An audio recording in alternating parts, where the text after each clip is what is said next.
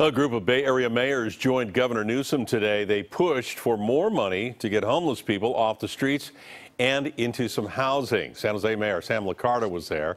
In his city, time and hope are running out for one homeless encampment, the Hope Village.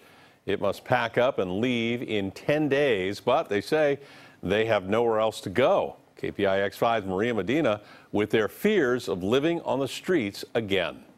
This empty parking lot owned by the Santa Clara Water District is where Hope Village residents hoped they would be moving next. But nearby homeowners said, think again.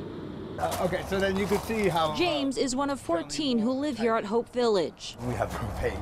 A small community of tents with water, showers, bathrooms, a kitchen, even a solar panel to charge their phones. It is something that you cannot have on the streets. Hope Village is much different than the cars, RVs, and campsites James used to live in. This model is extremely low cost, is extremely effective. But now their fate is uncertain. James is packing up with the rest of the residents, but they have no idea where they'll go.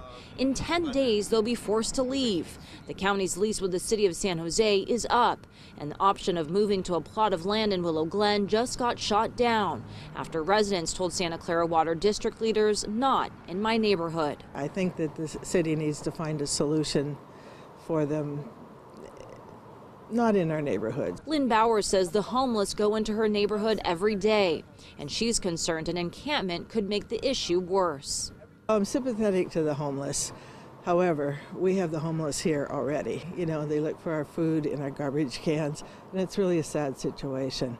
But I don't want it to escalate. I think they have um, legitimate uh, concerns. James is sympathetic to Willow Glen residents. Now he hopes someone is sympathetic to them and doesn't close the door on Hope Village for good.